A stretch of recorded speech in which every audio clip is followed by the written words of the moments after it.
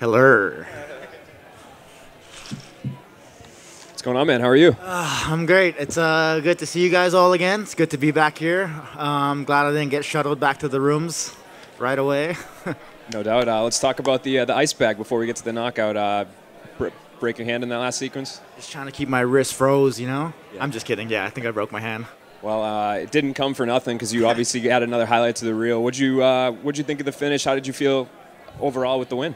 I felt good. I felt super composed in there. Um, I felt like uh, on the stool, I was like just focused, ready. I could hear everything Eric was saying, um, and I was ready to just put my paws on this guy. Um, and he was freaking strong. That was scary, man.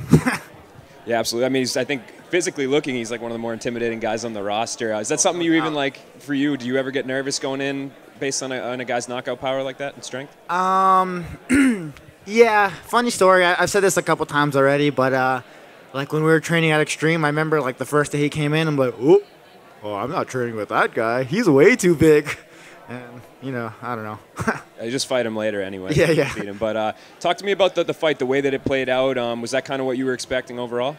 Yeah. Um, I mean, anytime you win like that, it's it's what you expect, you know, and you gotta take it. Um, I was happy. I was gonna put it all on the line the whole time, like I felt like I did, and uh, just turned out in my favor.